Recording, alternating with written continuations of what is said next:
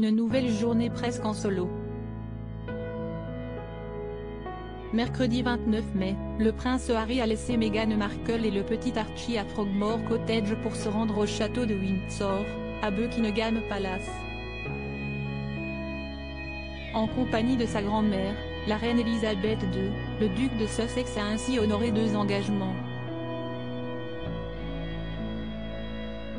L'ambassadeur du Commonwealth a ainsi rencontré pour la première fois les capitaines des équipes de la Coupe du monde de cricket, qui se déroulera en Angleterre et au pays de Galles à partir de jeudi 30 mai. Après cette rencontre, la reine Elisabeth II et le prince Harry ont présenté leurs vêtements de cérémonie lors de la troisième réception de l'année organisée dans le jardin de Buckingham Palace. Malgré la météo capricieuse, la reine Elisabeth II a illuminé le rassemblement avec son ensemble rose pâle, complété par un chapeau à large bord assorti. Le jeune papa lui, était très élégant dans un costume et portait un haut de forme. Sur place, il a pu retrouver les princesses Béatrice et Eugénie, très chic dans leurs robes de cérémonie.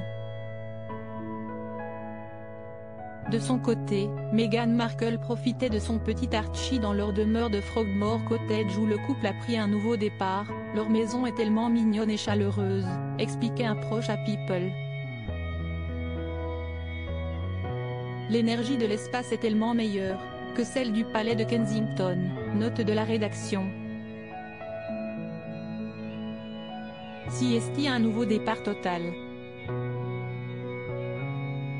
Après avoir participé à cette garden partie annuelle, le prince Harry a filé retrouver sa petite famille.